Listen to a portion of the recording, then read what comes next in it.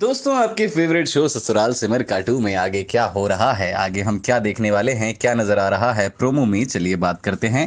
नमस्कार दोस्तों, आप देख रहे हैं बॉलीवुड स्पाई दोस्तों, आपको बता दें, जहाँ हमने एपिसोड में देखा कि आरव के पापा जी, आरव की माँ से, यानी कि संध्या जी से कहते हैं कि तुम माँ से, यानी कि गीतांजलि देवी से माफ़ी मांग लो। जहाँ पर संध्या जी जवाब देती हुई ये कहती हुई नज़र आती हैं कि मैं नहीं माफ़ी मांगूँगी, मैंने कुछ गलत नहीं किया है।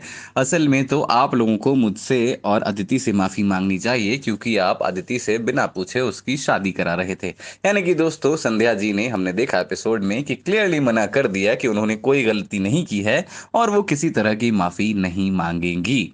वहीं दोस्तों, आपको बता दें, गीतांजलि देवी फिर कहती हैं कि अगर ऐसी बात है तो तुम जल्द से जल्द इस घर को छोड़ दो। अब दोस्तों, प्रोमो में क्या नज़र आ रहा है? चलिए बात करते हैं। दोस्तों, प्रोमो में नज़र आ रहा है कि गीतांजलि देवी संध्या जी से, यानी कि आरव की माँ से कहती हैं कि जब तक हम लोग मंगल कलश लेकर वापस लौटे, तब तक या तो माफ़ी मांग लेना या फिर ये घर छोड़कर चली जाना। यहाँ पर संध्या जी कहती हैं कि ठीक है, मैं घर छोड़कर चली जाऊँगी, मैं माफ़ी तो नहीं मांगूँगी। यहाँ दोस्तों, ये बात सुनकर सभी घर वालों के चेहरे के रंग उड़ जाते हैं, खासतौर पर आरव और सिमर काफ़ी परेशान दिखाई देते हैं।